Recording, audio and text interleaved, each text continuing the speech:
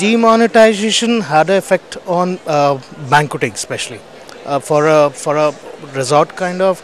We have bookings prior to demonetization. Few got cancelled, but overall, uh, to be very honest, it didn't have that effect on hospitality. It happened an effect only on where there were cash dealings. Uh, we, as an hotel, we have all the uh, norms and all. We follow all the rules and regulation. So I don't think so. That had an effect on our hotels to to an What's extent. experience in SATTE right now? SATTE this time it was too crowded. I don't know about uh, what is the potential, but it was crowded uh, as compared to last year. Uh, last year it was pretty dull. This time you f- find people roaming here and there, but I don't think so. What potential will that? That depends only. That only uh, gets a heads up when we get business from them.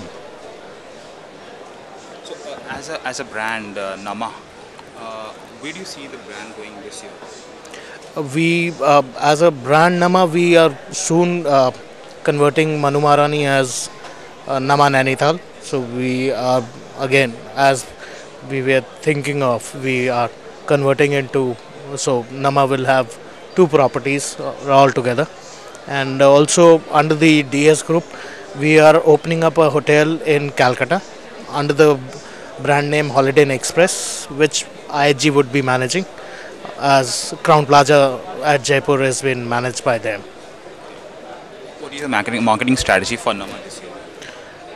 We'll be again, as you must have seen, we've been uh, rated number one by TripAdvisor, uh, number ten on uh, all uh, family hotels by TripAdvisor in India, where we rank along with uh, Aman Bagh and the Oberoi's, as well as uh, high-end boutique properties. So probably we'll be again uh, doing as showcasing them these properties in other fairs as well as in print media and as we are also doing on, on the online